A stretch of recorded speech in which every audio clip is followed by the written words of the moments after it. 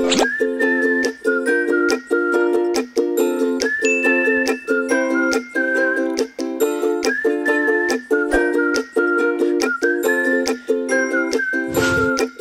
amigos do Guia do Engenheiro, aqui quem fala é o Jonatas Rosa. Sejam muito bem-vindos a mais uma videoaula do canal. Hoje estaremos trazendo a segunda parte da aula de PERT CPM, a ferramenta de gerência de projetos. Essa ferramenta é muito útil para quem quer desenvolver o projeto com mais precisão pessoa quer planejar com mais precisão, então essa ferramenta é bastante útil, independente da sua área. No nosso exemplo 1, se você ainda não assistiu a aula 1, eu vou deixar o link aqui na descrição, na descrição do vídeo para você estar acompanhando. No, na nossa aula 1, a gente esteve trazendo esse exemplo. É o seguinte, temos essa tabela onde foi feita uma descrição de cada atividade. Se você for desenvolver seu projeto, você terá que criar essa tabela, que é composta de várias atividades. Aqui, no exemplo, nós temos uma atividade da construção civil. Vamos lá. Atividade A, que é a escavação, a B já vem com fundação, e aqui temos as precedentes, as atividades que precisam ser concluídas antes de começar, por exemplo, a, a atividade H, que é a pintura externa, precisa começar depois que as atividades E e G tiverem sido concluídas. Então aqui na outra coluna temos o tempo de duração em semanas de cada atividade. Duas semanas, quatro semanas, dez semanas e assim por diante. Se fôssemos somar, todos esses tempos dariam 79 semanas. Mas não é assim que determinamos o tempo total de execução dessa obra aqui, de todas as atividades. O tempo total nós vamos calcular agora nesse próximo slide. Aqui está. Temos a rede traçada, como podemos ver, do início até o fim. Temos aqui escrito em magenta a atividade atividade A, atividade B, atividade C, seguindo aquela tabela, como foi visto na aula de número 1. E embaixo, em marrom, temos o tempo de execução de cada tarefa. Aqui é a atividade, aqui o tempo de execução, que no caso da A é 2, aqui é a primeira data de início, o PDI, e aqui a primeira data de término. O que iremos fazer agora? Iremos completar a nossa rede com a última data de término e com a última data de início. Deixa eu escrever aqui. Última data de término e a última data de início. A primeira data de término e a primeira data de início nós já preenchemos na aula 1. Então, após traçarmos toda a rede, qual é o tempo total de execução de todas as atividades. Como podemos saber?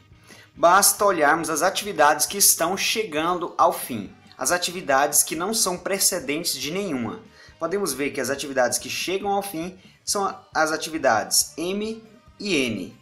Então vamos lá. A primeira data de término da atividade M é 40 semanas, é na semana de número 40. Ou seja, na semana 40, da, lá do início de execução da obra, ela será concluída.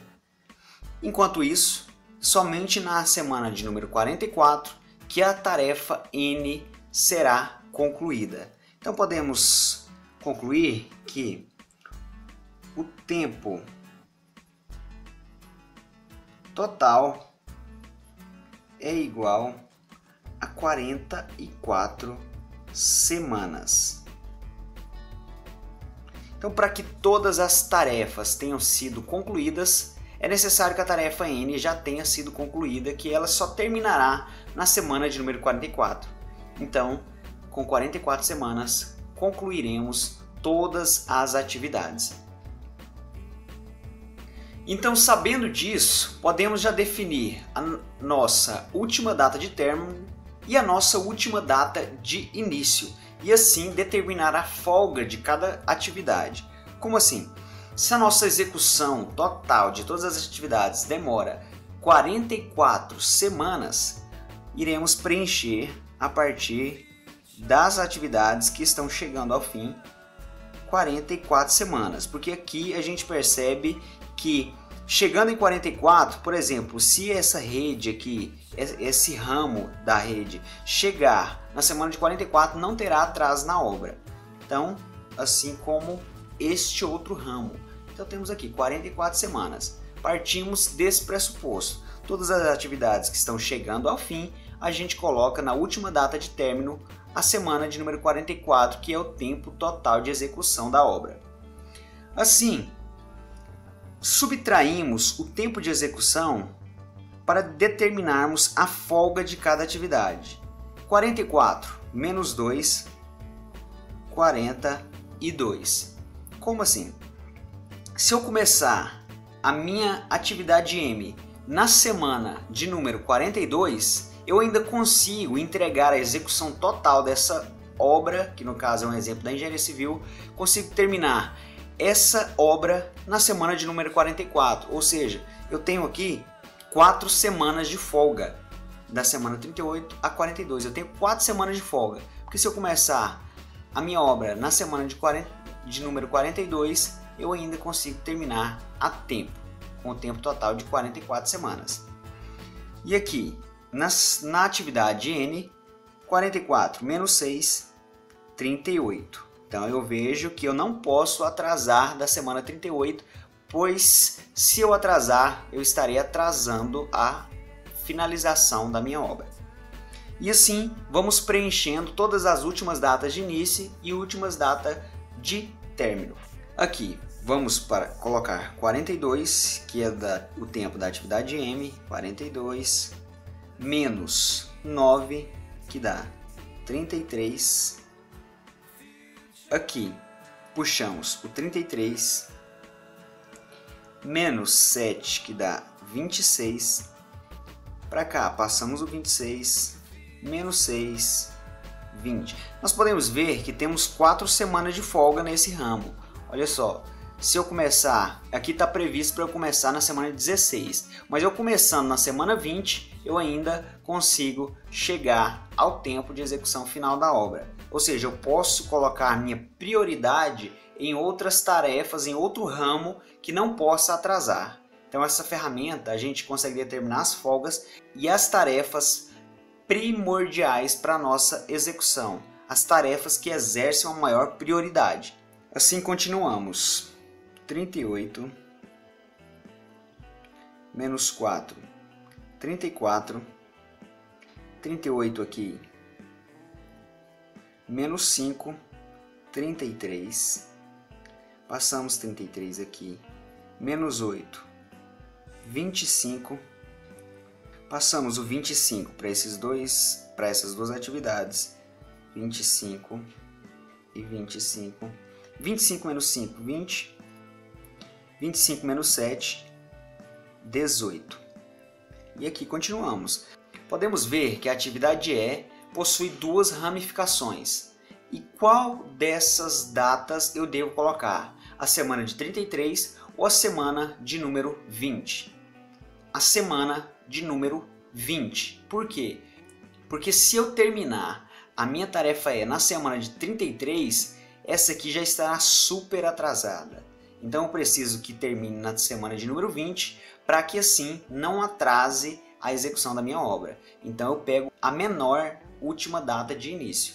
Então nesse caso eu colocarei 20 aqui, 20 menos 4, 16 e aqui mais um exemplo de ramificação.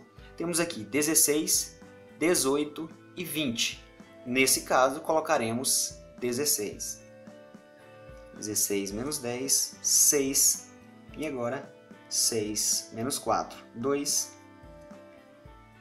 2 menos 2, 0. Chegamos ao início. E assim preenchemos as nossas últimas datas de início e últimas datas de término. A partir disso, podemos determinar qual o caminho crítico. Qual o meu caminho crítico? O caminho crítico é aquele que eu não posso atrasar nenhuma atividade, pois acarretará no atraso do tempo de execução total da obra. Como assim? Podemos ver aqui que chegando ao fim, temos algumas atividades que não têm folga. Por exemplo, a atividade N, ela não tem folga entre a primeira data de início e a última data de início, e a primeira data de término e a última data de término. Então, chegamos até a tarefa N. Então, aqui já é um trecho do caminho crítico e já vamos olhando quais tarefas não tem folga. Nesse caso é a tarefa L. E aqui traçamos mais um trecho do caminho crítico. Olhamos para cá, só temos essa. Traçamos aqui mais um trecho. Aqui temos uma ramificação, devemos olhar qual não possui folga. Aqui é a tarefa F, não possui folga, nós podemos ver. Chegando na tarefa E, tarefa E não possui folga também. Assim, chega até a tarefa C. E agora chega na tarefa B, na tarefa A e assim chegamos ao início novamente. Então esse é o nosso caminho crítico. O nosso caminho crítico é aquele onde não podemos atrasar, pois acarretará no atraso da nossa obra. Então esse caminho crítico merece uma ênfase, merece uma prioridade na execução. Então meus amigos, Aqui nós finalizamos a nossa aula de PERT CPM. Eu espero que você tenha gostado dessa aula e tenha entendido todas, todos os conceitos dessa ferramenta e possa utilizá-la. Não adianta apenas aprendê-la, devemos aplicar no nosso dia a dia. Então utilize essa ferramenta.